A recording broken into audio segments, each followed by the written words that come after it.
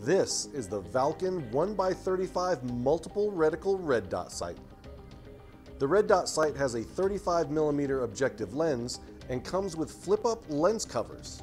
They have a rotary illumination control knob to adjust reticle intensity and comes with multiple reticles in both red and green illumination.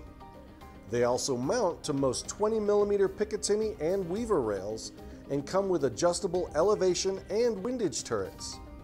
They include a AA alkaline battery to illuminate the reticle and these red dot sights only come in black.